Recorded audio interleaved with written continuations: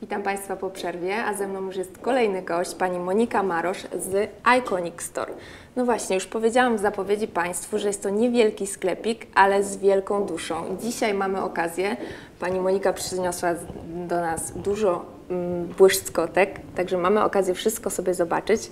Pani Moniko, proszę powiedzieć, skąd w ogóle to zainteresowanie taką niezwykłą biżuterią, bo to nie jest zwykła biżuteria, sprzed wielu lat. Są to lata 50., 60., 70. i też oczywiście współczesne, ale skąd w ogóle to zainteresowanie? Myślę, że to jest e, uwielbienie dla pracy e, takiej bardzo szczegół, szczegółowej, e, wykonywanej z dużym pietyzmem. Em, W tej chwili biżuteria jest bardzo taśmowa i produkcja biżuterii to jest coś takiego, co, mm, nad czym się chyba nie można pochylić. Oczywiście na pewno są jakieś wyjątki. Natomiast to, co się robiło kiedyś, jest, jest po prostu sztuką. A tutaj mamy, a tutaj mamy y, właśnie wyjątkowe okazy, y, które możemy sobie podziwiać, ale proszę powiedzieć, to jest mm, tak naprawdę to jest biżuteria z duszą. Skąd Pani bierze właściwie te cudeńka? E, Biżuteria pochodzi z całego świata, e, ponieważ mamy wielu przyjaciół, którzy wiedzą, że, e, że to jest nasza pasja i że sklepik właśnie tym się zajmuje, w związku z czym przylatują nawet eksponaty z Stanów Zjednoczonych. Jeździmy po targach staroci po całej Europie. Mm, Aukcje oczywiście też się liczą tutaj. Czyli z całego świata tak, tak, naprawdę. tak. Głównie, chociaż głównie jest to stara, dobra Europa, ale, ale są też okazy takie bardzo wyjątkowe i, mm, i ciekawe, bo e, to, co przylatuje z oceanu jest nieco inne niż to, co było wykonywane tutaj w Europie. I króluje tak naprawdę vintage. Zdecydowanie tak, zdecydowanie tak. E, Myślę, że mm, antyki też, chociaż w niewielkim stopniu jest to raczej vintage, raczej rzeczy powojenne, raczej lata właśnie 50. do 90. E, Rzadko bywają również rzeczy współczesne. Zabiegamy też o jakieś rzeczy współczesne wykonywane przez projektantów, głównie polskich, no ale to powolutku. I każdy z tych przedmiotów e, ma swoją historię. Czy może Pani pokazać jakieś cudeńko i opowiedzieć krótko? E, Myślę, że do końca historii oczywiście nie znam nie wiem, jaka dama Nosiła. u schyłku XIX wieku nosiła na przykład tutaj taki naszyjnik ze srebra, z markazytów i z, z koralowca. To jest koniec XIX, początek XX wieku. Jest to biżuteria o tyle i unikatowa, i jednocześnie uniwersalna, że tak naprawdę możemy ją śmiało dzisiaj włożyć i niekoniecznie na wieczór. To może być biżuteria noszona naprawdę do t-shirta, do swetra, do, mm, w każdej sytuacji, tak. Ona oczywiście zupełnie inaczej będzie Mhm. wyglądać w świetle świec wieczorem, a, Mhm. a zupełnie inaczej w, w, przy dżinsach i podkoszulku. Ale absolutnie nie należy się bać takich połączeń. Najważniejsze jest chyba to, że e, zakładając taką biżuterię jesteśmy wyjątkowi, bo chyba nie sposób e, znaleźć drugą osobę, która będzie miała identyczną biżuterię, Myślę, że prawda? tak. Myślę, że to jest właśnie I też Mhm. to jest właśnie to, o co chodzi w tym sklepie, że idziemy tam i wybieramy coś, czego nikt inny nie będzie naprawdę miał. pojedyncze egzemplarze. Czasami się zdarzają takie sytuacje trochę e, humorystyczne, że przychodzi pani, bo widziała u swojej przyjaciółki coś I ciekawego to i chciałaby to samo. nie ma. A tutaj no niestety, ale oczywiście każda epoka miała jakieś określone trendy, w związku z czym można dobrać coś podobnego. Mhm. Niemniej jednak dwóch takich samych rzeczy w sklepie nie ma. Czyli jest Pani absolutnie przeciwniczką masowej produkcji. Tak, i, i tutaj też można byłoby się pokusić o, oczywiście o rozszerzenie tego o, o, i o ekologię, i o y, idee takie, które w tej chwili są bardzo y, ważne, czyli liczenie się z pracą ludzi na świecie i zatrudnianie tych różnych małych rączek. Do pracy. Także tak, także myślę, że tego można w ten sposób uniknąć, ceniąc i szanując to, co już y, zostało wykonane. A proszę powiedzieć, czy to są e, używane, czy nowe, czy, czy robione specjalnie dla kogoś e, biżuterie? Na pewno w większości są to rzeczy używane, na pewno. E, Po niektórych nawet Ale to śladu widać. użytkowania, aha, Po widać. niektórych nawet to widać.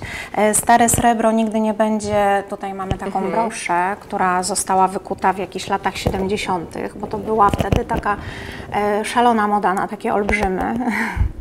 No wygląda E, Jest to srebro, ręcznie formowane i widać, e, widać no nie, jest to, nie jest to taki połysk i błysk jak na nowym przedmiocie, niemniej Mhm. Ale jednak ta patyna jest szlachetna. ma swój Ona urok, ma swój urok, prawda? dokładnie. No widać, e, że tak powiem, duszę. Tego też się nie należy bać.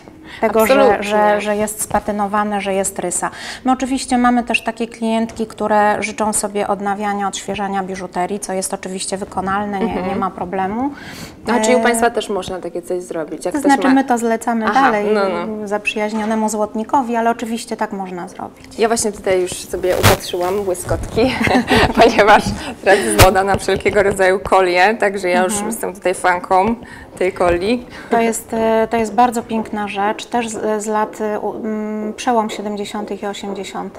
Srebro złocone, ręcznie mm, młotkowane. To jest taka metoda. No właśnie, bo jakie techniki są wykorzystywane? Bo na pewno Naprawdę przeróżne. ciężko powiedzieć, żeby Mhm. dzisiaj były takie same, prawda, stosowane. Przypuszczam, że w małych e, takich rzemieślniczych zakładach złotniczych jeszcze można Jeszcze sobie tak. na zamówienie coś takiego zrobić. Natomiast, natomiast pewnie jest trudno.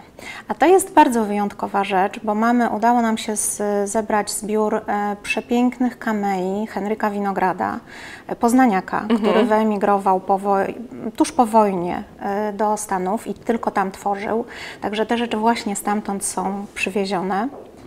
E, To są e, pojedyncze egzemplarze, naprawdę przepiękne. One są bardzo poszukiwane na wszelakich światowych aukcjach.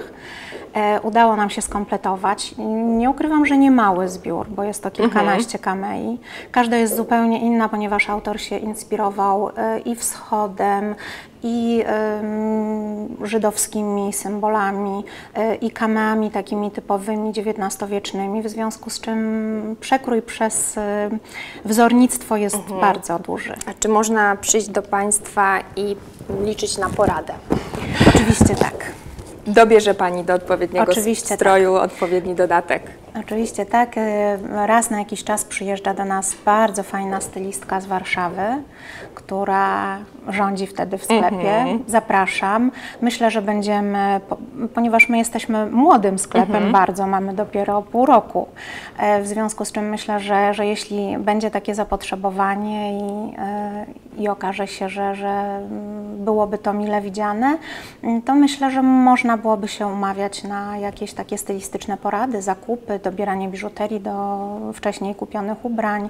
Bardzo mi się podoba ten temat, ale niech Pani jeszcze powie, bo nie tylko biżuteria króluje u Was w sklepie. Co jeszcze można tam dostać? Tak, ponieważ nie ukrywam, że jeżdżąc po świecie i e, przechadzając się alejkami ze starociami, naprawdę ciężko jest e, nie zauważyć innych rzeczy. I biżuteria oczywiście króluje i jest naszą taką miłością główną, natomiast e, rzeczy, mm, małe rzeczy użytkowe, lampy, oświetlenie, to jest coś, co robi duże wrażenie i nie można go tego przejść obojętnie. Ale również vintage. Tak? Tak. Czy jednak tutaj też są nowoczesne style? Myślę, że w tej chwili jest taka, taki trend na, na industrializm, na takie rzeczy bardzo mm, toporne, fabryczne, w związku z czym jest to vintage w tym pojęciu, że są to rzeczy stare, ale one są bardzo nowoczesne w pojęciu jakby mm, trendów aktualnych. A proszę powiedzieć, czy są jakieś zasady, według których powinniśmy się kierować, łącząc właśnie te stare rzeczy vintage właśnie w nowoczesnych wnętrzach? Em, Myślę, że zasada pierwsza i podstawowa, którą się kierują wszyscy projektanci wnętrz, e, to jest nie przedobrzyć z niczym. Czyli umiar. Umiar, dokładnie. Natomiast spokojnie można łączyć stare rzeczy z nowymi, antyki z bardzo nowoczesną przestrzenią, e, bardzo starą, zabytkową przestrzeń z bardzo nowoczesnymi elementami. Wygląda to bardzo ładnie, nadaje to pewnej lekkości każdemu wnętrzu, staremu i nowemu. no- Nowemu z kolei nadaje charakteru, duszy. A proszę powiedzieć, bo na pewno są takie cuda, które kosztują dużo, ale czy jest też coś takiego na każdą kieszeń? Znajdziemy jak, to Jak coś? najbardziej. Ceny u nas e, się plasują. Ja się zastanawiałam nad tym, jak, jak, jaką rozpiętość umieścić na Facebooku E, i muszę powiedzieć, że nie ma takiego Mhm. przedziału cenowego, dlatego że u nas ceny są od 25 zł za klipsy. Przepiękne klipsy vintage. Tutaj Ma e, pani mamy pokazać na nam? przykład na tamtej poduszce jest kilka par. Takie są przepiękne. Chwytam te. Te są akurat srebrne, więc Aha, będą nieco będą- droższe, ale te takie z ym, emalią kolorową. Te? O te, mhm. No przepiękne. właśnie. One Mają kosztują urost. 35 zł, więc to No, nie czyli, jest czyli moi drodzy, tak naprawdę dla każdego się tam dokładnie znajdzie tak. coś. Dokładnie tak. Super, jestem zachwycona. można, gdzie, gdzie można Państwa znaleźć? O, może to jest najważniejszy teraz temat. Oczywiście na Facebooku, który króluje w tej chwili. Oczywiście. E, Można, mamy stronę, ale w tej chwili jest ona jeszcze w, u jakby, budowie. Tak, w budowie u, u, fachowców. Em, A przede wszystkim można nas znaleźć na żywo w Poznaniu na ulicy Woźnej 14a. To jest e, ta druga strona Woźnej, więc e, trzeba mieć troszeczkę cierpliwości. Jak już się wejdzie od płyty głównej w Woźną, to należy jeszcze przejść ulicę Garbary, żeby trafić do nas. Moi drodzy, czyli już wiecie, gdzie możecie znaleźć te wszystkie piękne cuda. Ja bardzo Pani dziękuję za rozmowę i że nas Pani odwiedziła e, z, tą- biżuterią. Jeszcze tylko może e, zrobimy zbliżenie na lampę, bo, nie pokazałyśmy właśnie. Pani też tutaj przyniosła nam lampę, żeby pokazać, jakie inne cuda się znajdują w sklepie, prawda? Także bardzo dziękuję. E, mam nadzieję, że zachęciłyśmy Państwa, abyście przyszli do sklepu i zobaczyli te cuda, które się tam znajdują. E, Póki co zapraszam Państwa na krótką przerwę muzyczną, a po przerwie kolejny gość.